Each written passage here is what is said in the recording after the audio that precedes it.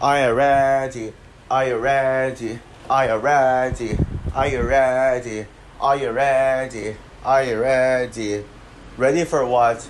Well, are you ready to uh, see uh, my brand new review marathon series on my channel? Well, I'm sure you guys are because this is going to be a special one. Yep, and guess what comes out this month? My most anticipated movie of the entire year, well, uh, next to Across the Spider Verse, but yeah, my most anticipated movie of fall 2023, Wish. Uh, which is uh, nowadays my second most anticipated movie of all time, second only to Frozen 3. And yes, I am so excited for Wish. Uh, I cannot wait for this movie any longer. And so I think it's about time for me to uh, prepare myself uh, to see that glorious movie um, 21 days uh, from now. And yes, I'm seeing Wish on opening day. And yes, um, I am still, yeah, in honor of Wish uh, coming out. I am going to be reviewing all, or rather, most uh, Disney revival age films leading up to, leading up to uh, Wish. Although I will only do a select few of them. No, not select few, but select uh, most of them.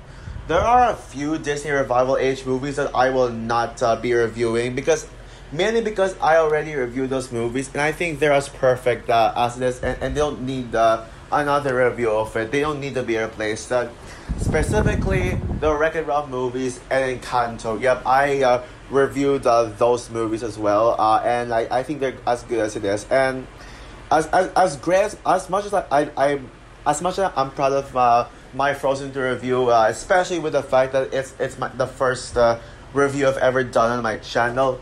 I am going to be uh, doing a, a redo review of Frozen 2. Yep, that's the only Disney revival age movie that I will be uh, redoing my review on. Uh, yep, uh, Frozen 2 because I think it, it deserves another review. Because why not? So why not talk about this movie, especially using my real voice? Because you know, if you remember, my my previous Frozen 2 review was a uh, text to speech uh, review. So why not review that movie with my real voice? But anyways, yeah, let's get on get on with the start of the Disney Revival Age uh, review. So so yeah, I am not I am here today to do a review on The Princess and the Frog. So The Princess and the Frog came out in the year 2009 and is the very first uh, Disney Renaissance era film and is directed by Ron Clements and John Musker who is uh, probably the, the fan favorite, the Disney Revival Age uh, directors uh, and probably the, the fan favorite Disney directors in general. And it stars Anika Noni Rose, Keith David, Oprah Winfrey, Bruno Campos, uh, Michael Leon Wooley, uh, Jennifer Cody, Jim Cummings, uh, Peter Bartlett, uh, Jenifer Lewis, uh, Terrence Howard, John Goodman, uh, John Goodman, Don Hall, um, etc. And so basically, this movie tells the story of, uh, this. Uh, it, it, it tells uh, the story, well, it's based on the classic story, the, the Frog Prince. It tells the story of Tiana, a princess who is a, restaurant wa- waitress who who has a fear of frogs, mainly because when she was a kid, which was uh, explored in the beginning of the movie, she was afraid of frogs. Uh, yeah, she had this uh, fear of frogs, uh, mainly because of how uh, the Frog Prince story that her mother read to her as a kid uh, terrified her. Um, especially um, when the the, the uh, princess kissed the frog, uh, it, it terrified uh, Tiana. And so uh, when Tiana was an adult, yeah, she still uh, fears frogs. Uh, she still fears frogs, uh, but but she's still uh, yeah, um, living a good life uh, as a waitress. But one day, a frog. Uh, but one day, uh, Prince Naveen uh, turns into a frog uh, thanks to uh, um, Dr. Facilier's uh, evil uh, spell, uh, evil spell b- by turning uh, Prince Naveen uh, into a frog. Uh, and so, yeah, he, he comes to uh, Tiana for help uh, because he thinks, he says that the only way to, the only way to, um, well, break the spell is for uh, the frog to be kissed. But, uh, but then uh, when Tiana turns into, uh, when Tiana kisses, uh, kisses the frog, uh, kisses Naveen as a frog.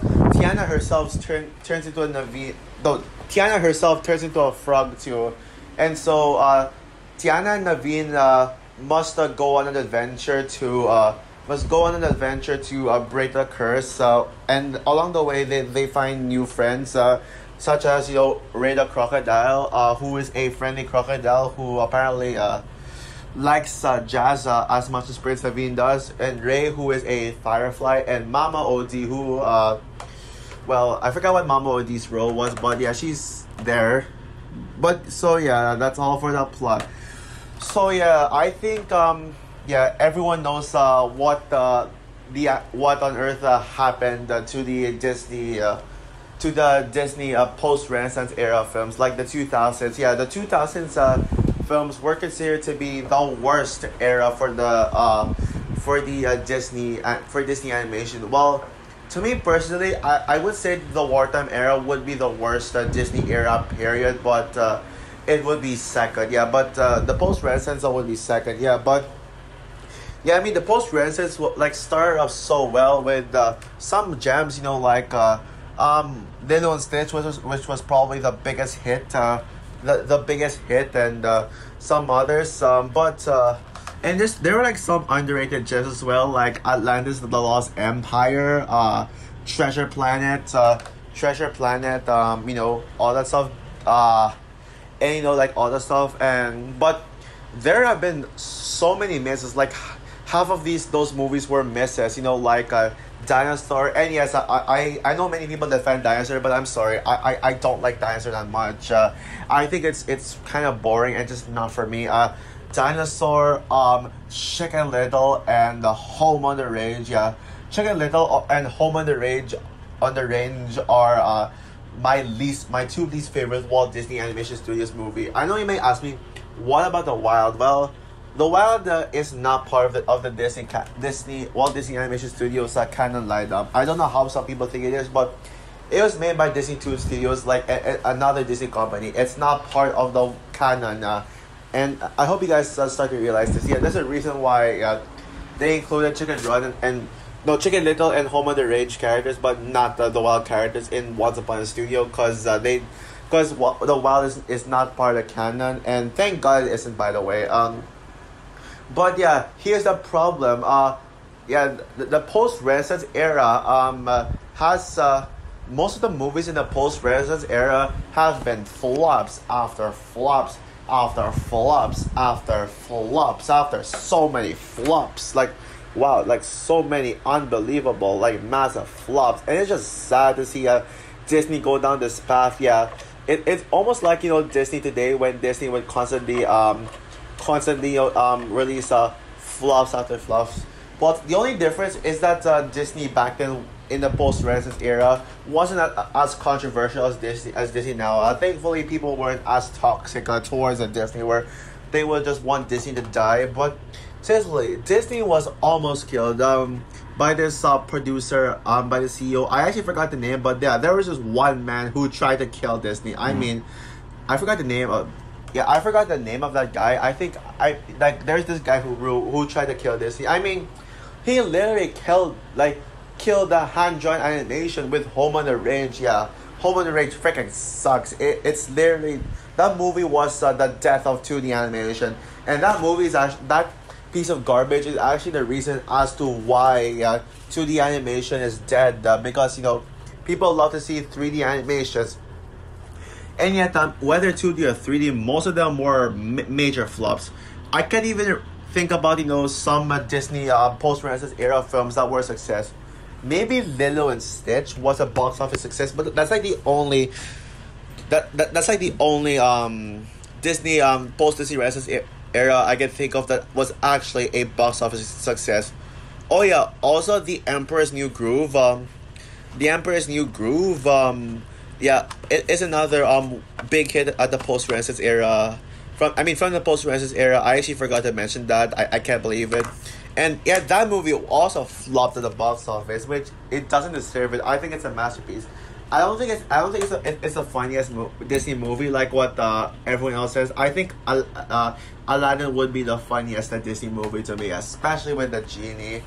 Yeah, um, I'll review Aladdin one day, but not the not sadly not this month in the, my Disney content month because I don't have enough time. But one of these days I will. Um, but anyways, back on topic. Uh, but yeah, um, I think um, well, yeah, based on what I've uh, mentioned. Um, oh yeah, also um, I should mention as well, Bolt, which was uh, probably my favorite Disney movie as a kid. Uh, growing up, yeah, Bolt was one of my childhood movies, and and again, this is that was actually the movie that came before uh, the Princess and the Frog. I'm not sure if uh, I would consider Bolt personally. I would consider Bolt to be a box office flop. I I, I don't know, but yeah, but yeah, it kind of got um div- pretty uh, divisive uh, critical reception where, when where uh, some would either uh, call it um a big hit, uh, some would like it, and some would dislike it. I personally like Bolt.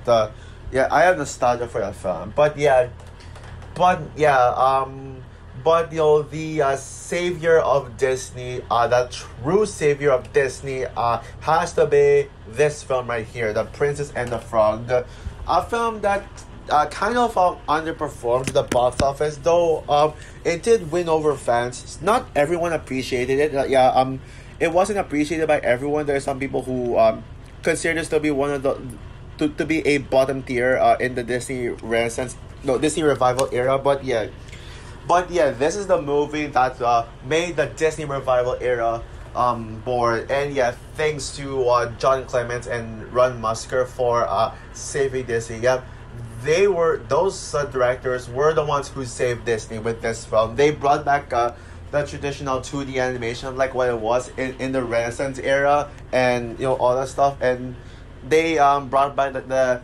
traditional um Disney princess um the thingy that, that we've seen in back in the Renaissance era. And, and, and just like the Renaissance era they also introduced a new culture uh to with you know very similar to Mulan. Um you know you know how Mulan uh Mulan uh, had the Chinese culture and had the Chinese uh, you know Disney uh, princess. Well and this one uh um we, we got a black, uh, an African American Disney princess, yeah, but to keep the diversity alive.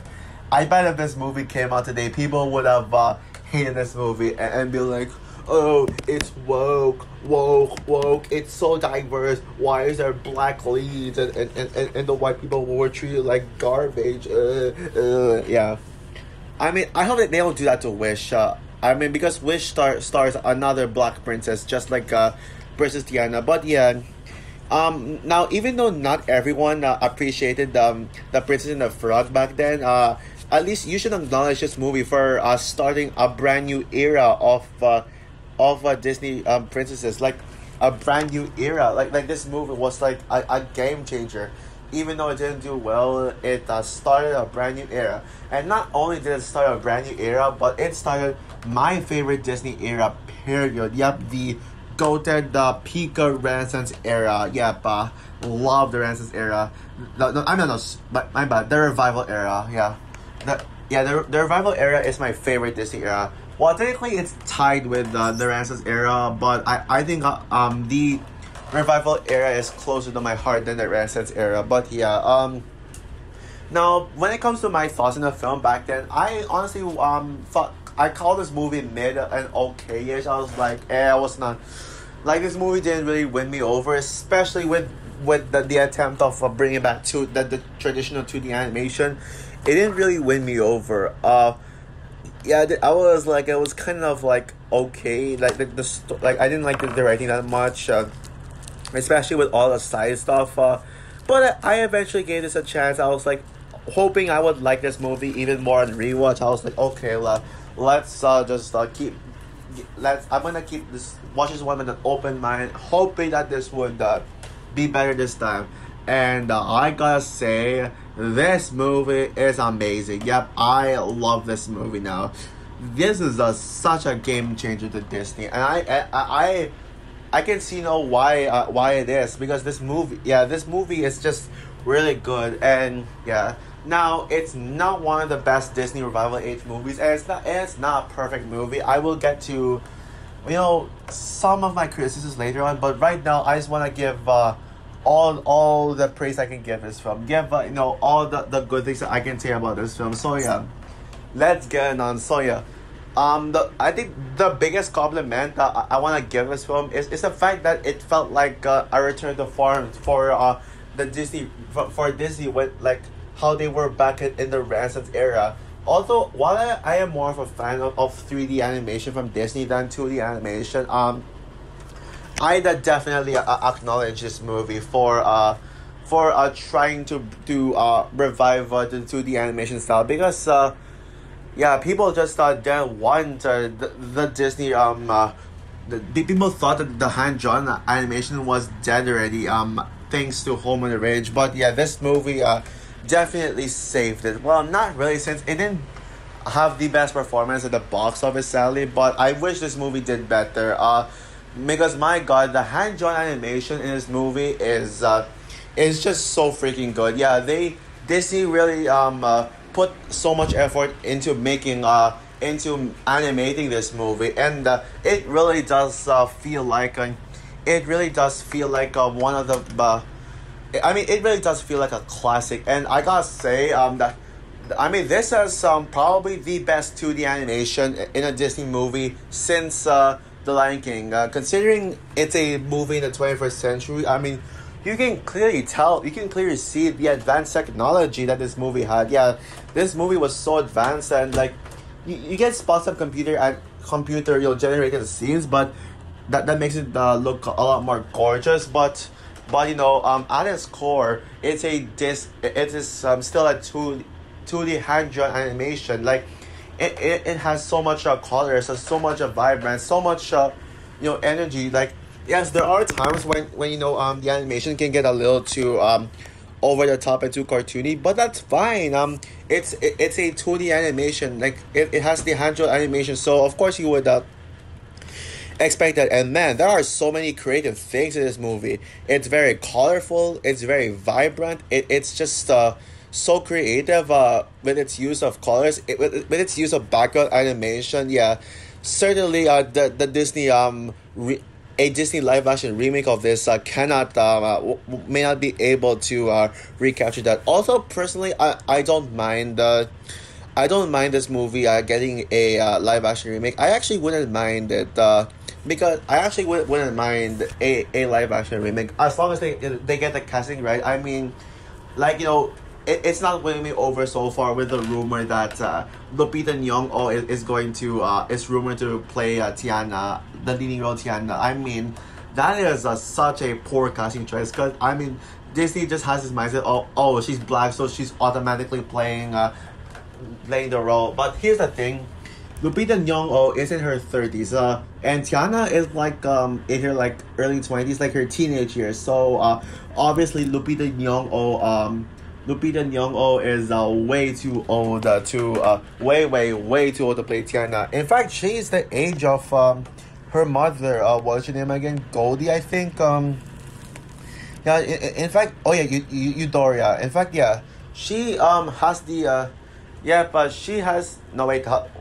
I mean, Lupita Nyong'o is literally about the age of uh, Tiana's mother, Euphoria. Um, so yeah, that that won't work for me. Yeah, so yeah, I, I think um they should get uh, Zendaya to, to, to play uh, Tiana. I think that would work. Or maybe Keke Palmer. Uh, and maybe even Halle Bailey. Yeah, I think Halle Bailey uh, should have uh, went for Tiana instead of uh, Ariel. Um, but yeah. Um, but yeah, anyways, uh, back to the, the actual Princess and the Frog movie. Yep. Um, a lot of the 2D animation, the creativity, especially the musical numbers. I'll get to the musical numbers in a bit. And yes, uh, and once again, this movie um, has a traditional Disney princess, just like uh, the uh, Disney revival, no Disney Renaissance era. Why do I keep co- confusing the Renaissance and the revival? But yeah, this is the, the revival. But yeah, uh, well yeah, I love uh, Princess Tiana. She feels like a a princess from the Disney Renaissance era, and yeah, I love her character arc. Um, you know, of you know just uh, trying to face her fears, uh, even though yeah, the movie never uh, mentions about you know Tiana having to face her fears, but you can clearly see that Tiana's actually afraid of frogs, and and she turns into uh, one of her fears. Uh, she turns into one of her fears, which is a frog, and, and she must learn to live with, with it, and now live with it. And now at the end, she isn't afraid of frogs anymore. She's not afraid of frogs, and that is a character development right there. And I mean character development in a way that doesn't feel uh, exposition heavy at all. It, it there's there was no exposition thrown into it. But it was just um, well, you, you can clearly figure that out. Like, like that's what I love about Disney. They're able to treat their audience with respect without you know, having to tell them what's going on in the story. And Princess and the Frog is certainly a uh, a, a good example of that. Like such a good example. Uh, Tiana just still works so well. I mean, don't. I will say though, she's not one of the one of my favorite uh, Disney uh, revival era princess. Yeah, she's no Rapunzel. She's no uh, Moana. She's no Mirabel.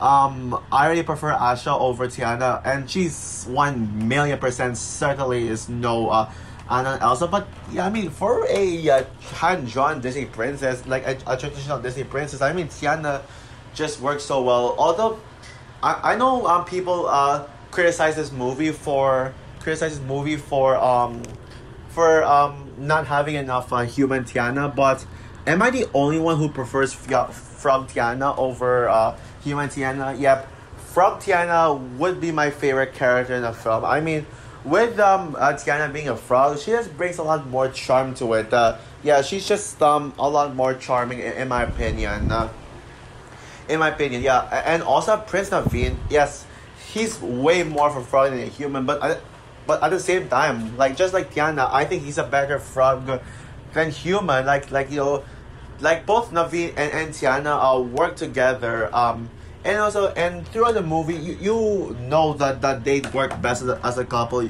and that's actually one thing i can compliment about this movie uh, you really feel their chemistry i mean they don't instantly fall in love when they meet uh, like Naveen just wanted Tiana's help, and Tiana just turns into uh, what Naveen turned into up front. But and they just they're just working together. And Prince Naveen uh, already is about to marry Charlotte, which I'll, I'll get to Charlotte in, in a second. But Prince Naveen, uh, but Prince Naveen and Tiana really do learn to work together. Um, and uh, as an end result, uh, the more like they, they work together, the more they start to have feelings for each other, and uh, and the audience start to realize that they're actually perfect for each other, and uh, and that um, Prince Naveen and Charlotte uh, don't fit as, as a couple as much as uh, the movie thinks, uh, as much as Prince Naveen and Charlotte thought, and yeah, Charlotte is. Uh, probably the most underrated character um, of the film. I, in my Letterboxd, I, I slammed uh, Charlotte uh, so hard. Yeah, I, I call Charlotte a joke.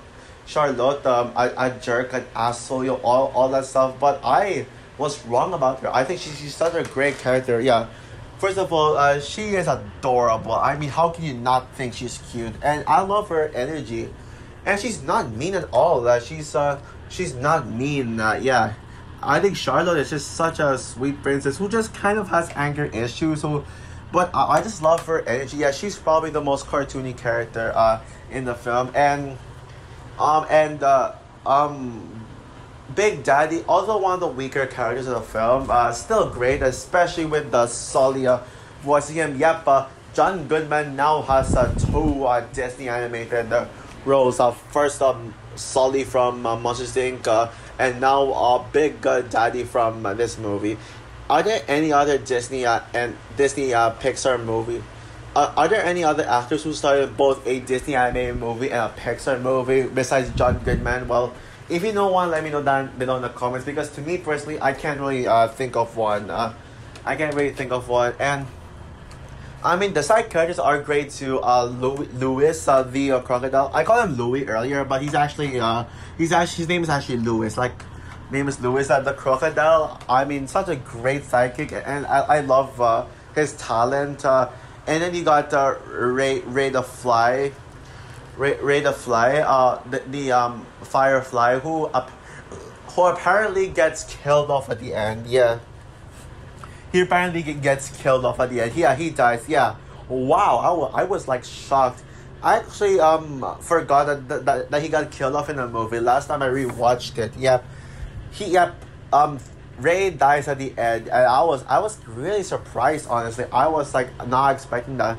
Like I can't believe that Disney ha- has the balls uh, to kill off characters. I mean and and that's what I love about Disney. They take risks. I mean they they have so much uh, risks, you know, uh, they, they kill off characters uh, because they know that, that you know um, death is a part of life and uh, this is and there are some animated movies that, that are truly afraid to kill their characters because you know they'll be like oh it's a, it's, it's a kids movie we can't see good characters die, only villains. Uh, like we don't want to make them sad, but this is like, ah, who who cares? We'll kill off characters. I mean, well, they killed they killed the Mufasa and the Lion King. Uh, they killed the Tadashi and Big Hero Six. Although some people make make rumors that that Tadashi is not really dead, uh, and he'll uh, reveal to be alive in a sequel. We'll see about that. I mean, we'll see about that. I'll talk more about that in my Big Hero Six review. By the way, um, I think someone died in Zootopia. I'm not sure, but I, I can't recently remember. But I'll, I'll see when I rewatch Zootopia. Uh, um, and okay, well, I'm not sure, but, but I, I think there's another Disney movie where someone, where a major character dies. I'm not sure what it is, but yeah. And I, I, I can see Frozen three potentially killing off, uh, killing off a character, killing off a character. Probably Mattias. Probably Mattias. Yeah, I can, I can see that happening.